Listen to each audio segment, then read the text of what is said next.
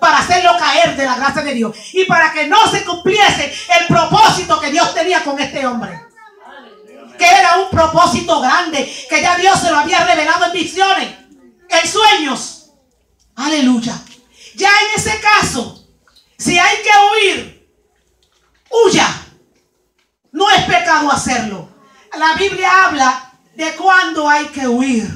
Por ejemplo, dice, huir de la fornicación, huir de la idolatría. Alabado sea el nombre del Señor. Y dice que el, que el, el impío huye sin que nadie lo persiga. ¿Por qué el impío huye sin que nadie lo persiga? Porque sus hechos le dicen, eres culpable. Y, y, uno es culpable hasta que no se demuestre lo contrario, dicen en las cortes. Entonces nosotros, todos nosotros, éramos culpables ante Dios por haber transgredido la ley divina. Por haber transgredido, aleluya, la ley de Dios. Al descubrir la verdad, nos damos cuenta, verdad que es Cristo, nos damos cuenta cuán culpables éramos. Y siempre andábamos huyendo, porque siempre tratábamos de esquivar la verdad de que somos pecadores, de que necesitábamos un Señor, que necesitábamos un Salvador, aleluya, que nos redimió, que, que, hizo nula el decreto, ¿verdad? Mira hermano, él, él pagó por nuestra culpa, se hizo culpable. Y Él no evadió esa responsabilidad. Jesucristo es nuestro mayor ejemplo. Hubieron hombres en la Biblia que evadieron sus responsabilidades. Hermano, no solamente se evade la verdad, la, aleluya, cuando sabemos que somos culpables de algo, o cuando somos cómplices de algo, o cuando tenemos, aleluya, que hacer algo, hermano, que nos toca, también evadimos esa responsabilidad.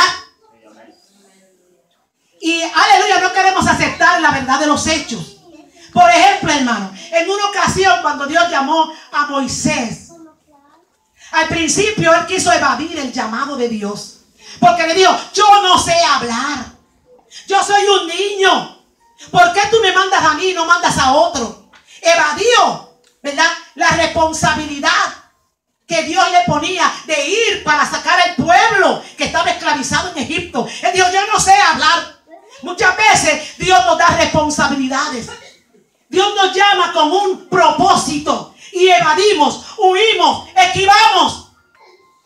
Siempre andamos huyendo y no queremos admitir la verdad de nuestros hechos, de que siempre estamos huyendo, aleluya, a lo que Dios quiere en nuestra vida. Siempre somos, aleluya, pero no todos, ¿verdad? Porque no, no quiero ser injusta. Pero la mayoría de los cristianos andan huyendo. Se convierten, aleluya, en prófugos de la justicia, pero no de la tierra, de la de Dios. Siempre están huyendo de Dios. Y a veces impíos que huyen sin que nadie los persiga. Alabado sea el nombre del Señor. Están huyendo de sí mismos, de su conciencia, de su verdad. Alabado sea el nombre de Cristo. ¿Cuántas personas hay en la iglesia que tienen llamado de Dios? Talentos. Que pudieran ya estar en ministerios. Aleluya. Completos, ya nombrados. Pero siempre están evadiendo. Siempre están huyendo. Siempre están esquivando. Alabado sea el nombre del Señor. Siempre están poniendo la responsabilidad de ellos en los hombros de otro.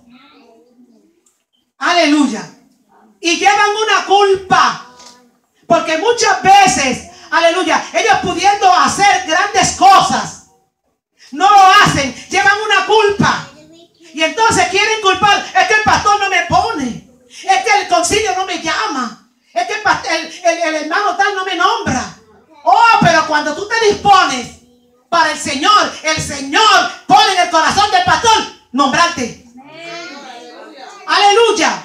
Cuando las cosas son de Dios, cuando tú tratas de, enfrentar tu realidad, cuando tú tratas de ponerte en el lugar donde Dios quiere que tú estés, cuando tú haces lo que Dios quiere que tú hagas, el Señor se encarga de promocionarte. Tú hacerlo por ti propio. Es el Espíritu de Dios el que te promociona, el que te mueve y el que te pone en el lugar que Dios quiere ponerte. Y eso nadie lo puede evitar. El único que lo puede evitar si huyes del llamado del Señor. ¿Cuántos bendicen a Dios?